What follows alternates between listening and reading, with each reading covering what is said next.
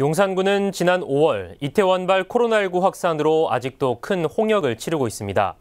이번엔 헬로윈 대회를 앞두고 인파가 몰려들 것으로 예상되면서 노심초사하고 있는데요.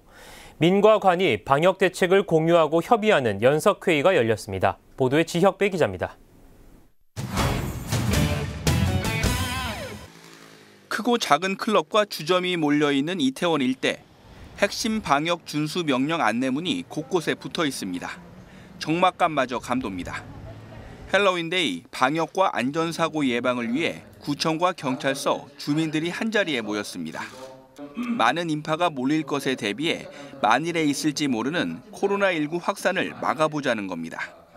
구역의 집합 금지나 그리고 클럽 등 공용 시설 등의 일시적 조치 등을 해줄 것을 중앙정부 그리고 서울시에 건의한 바 있으며 대규모 인파의 움직, 저, 움직과 코로나19 지역 감염이 우려됨에 따라 강화된 헬로윈데이 치안 종합 대책을 출발했습니다.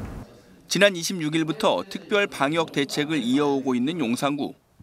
금요일과 주말 이태원 일대 집합 유흥 시설을 중심으로 전자 출입 명부 운영과 마스크 착용, 1m 거리 두기와 인원 제한 같은 방역 수칙 준수 여부를 서울시 경찰서와 합동 단속합니다.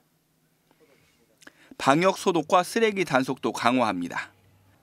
경찰은 관할 구역을 일부 조정해 치안과 교통을 책임집니다. 이태원 관광특구 연합회에서는 발열 체크 게이트웨이를 설치하고 야간 순찰에 참여합니다.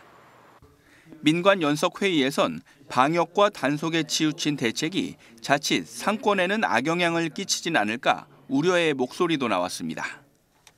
방역 조치를 해야 되겠지만 어, 그 들어오신 분들이 편안하게 노래를 부르고 할수 있는 어, 그런 자리 공간도 어, 해줬으면 좋겠습니다. 특히 장사하시는 분들 우리 좀 한풀이라도 더 주문이 생길 수 있는 솔직한 이야기 그런 기회가 됐으면 좋겠습니다.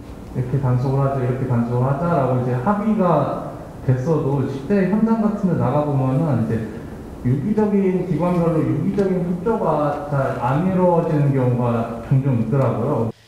일부 업소가 자체 휴업에 들어간 것으로 알려진 가운데 헬로윈데이 기간 단속 업소에는 현장에서 즉시 집합 금지와 과태료 부과 조치가 이루어집니다.